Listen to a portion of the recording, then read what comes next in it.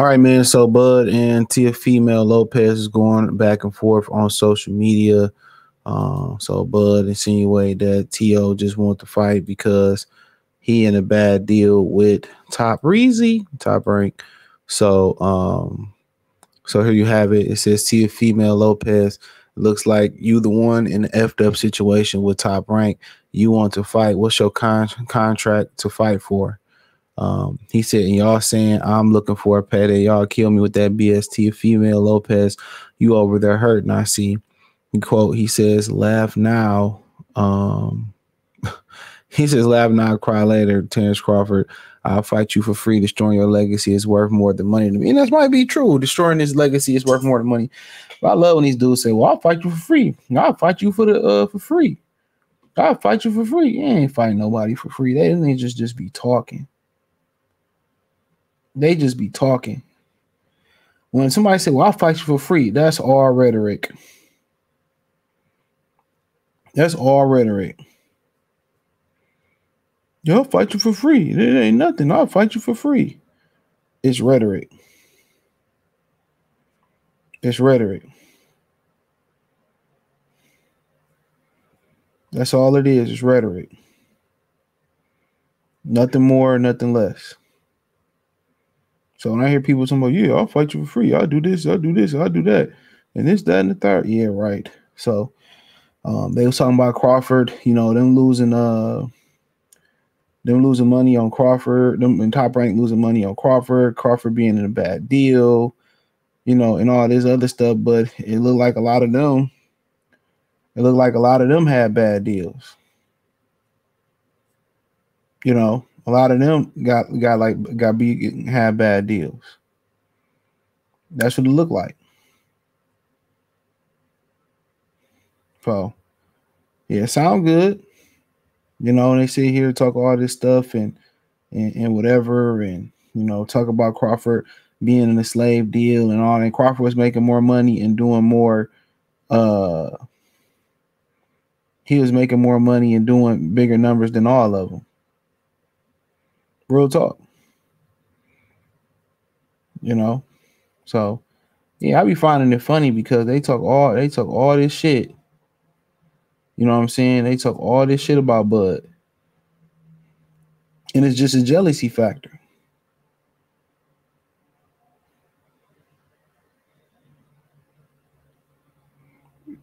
You know.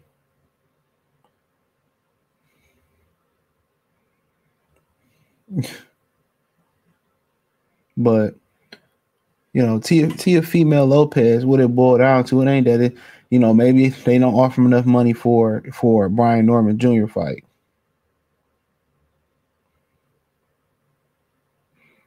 You know, maybe they ain't offer you know, they offer him 10 million for the Devin Haney fight. What it boiled down to, he doing the Mikey Garcia, the Kell Brook, jumping up and wait, fighting fights that he know he gonna get paid for, but he can't lose. That mean that that it's a lose lose. I'm supposed to go up here and lose, so it's really no pressure. It's really no pressure at all. I know I'm gonna go up here and um and lose, but everybody expect me to lose. Everybody expect me to lose. Everybody expect me to lose.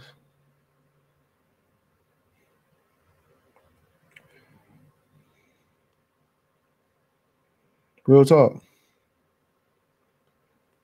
Everybody expect me to lose.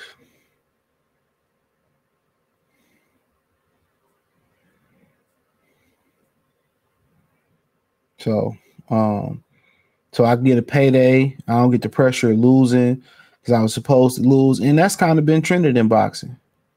Kell Brook, you know, everybody ain't moving up the weight to win like Usyk.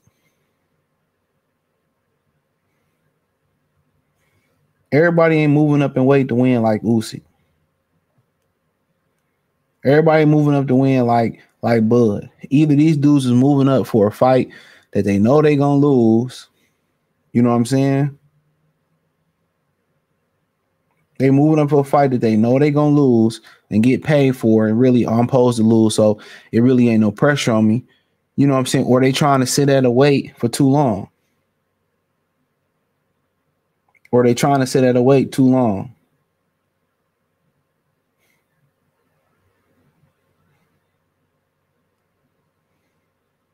You know,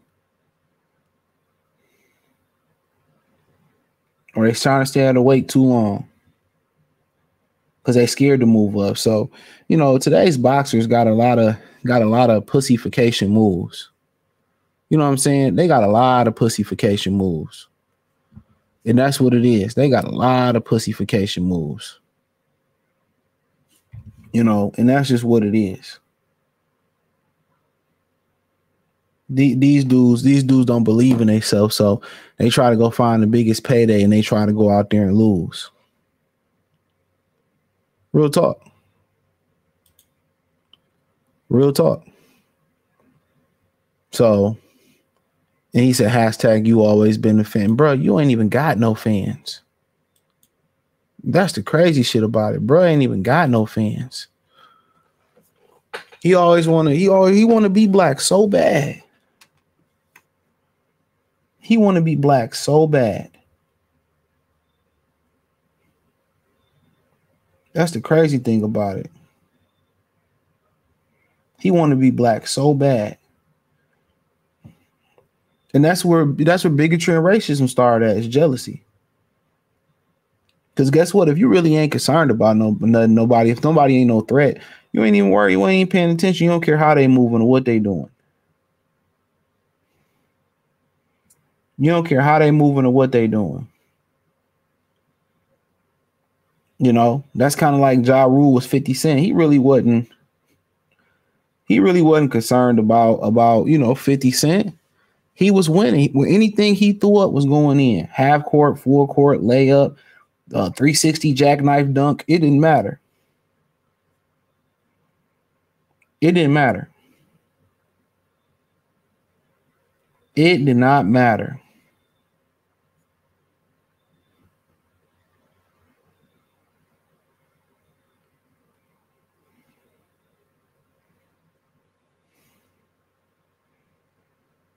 It did not matter.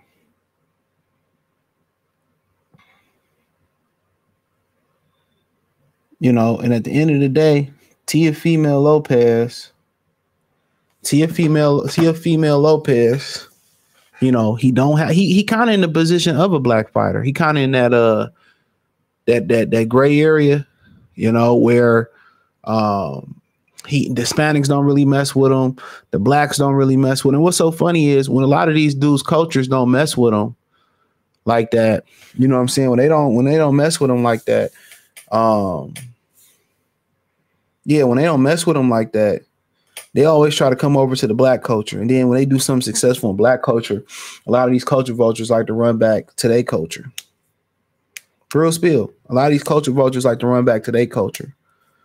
They always like to use our music, dance, and all that stuff. And then when you look up, you know, when they be successful in hip hop or they be successful in the black community, and all of a sudden they community then accept them and all that stuff. That's kind of what Teo trying to do. You know, trying to cl- cloud chase over blacks. And they tell you a lot of black fighters don't sell and nobody care about Crawford, nobody do this, that, and the third. That dude mushed you or your daddy in the face and you ain't do nothing and you ain't do nothing. Keyshawn and them beat your daddy up for saying the N word, and you did nothing. You did absolutely nothing.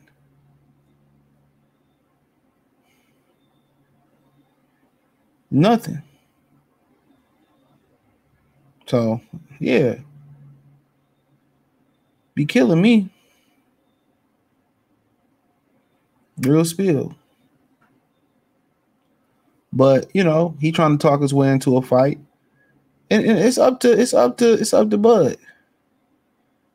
But these same people will tell will tell uh these same people will tell, you know, Bud that he ain't done enough to fight Canelo, but apparently he do. I'm telling y'all, they always asking black men to do things that nobody else would do. Not black males, not Pookies, not Octaviuses. They always asking us to do stuff that they wouldn't do or other men wouldn't do, other ethnic dudes won't do. It's like black women asking us to be stepfathers. And in into uh and to step in for other men's other you know for other women's mistakes black women and black grandmothers and black mothers ask men to do that they do they do they always asking us to be the cleanup dudes always They always asking us to back clean up. Ain't no different in, in every aspect in life. It ain't no different. It ain't no different.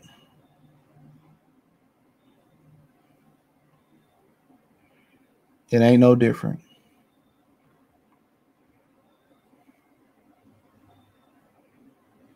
So you know, saying we're here, oh man, you know, you don't deserve this, but you should give this dude an opportunity or you should give this dude a chance. I don't believe in that. I don't believe in it. If you ain't if you ain't fucking with me, I ain't really fucking with you. I don't I don't believe in that turn other cheek. We the only on you know, black people, the only group of people that was taught turn the other cheek. We the only group of people that was taught that. Our women don't even turn the other cheek. We the only people that do it, black man. So nah, if Teo gonna fight for free, I send an offer. Free. And all his money going to me. He jealous when he was fighting on Bud undercards and fighting up under Bud. Nigga needs to be jealous. So you gotta watch who you help help out. What Cassidy say? He said niggas be phony. That's why I only got a couple of homies. And they really do. That's a fact. That's a fact.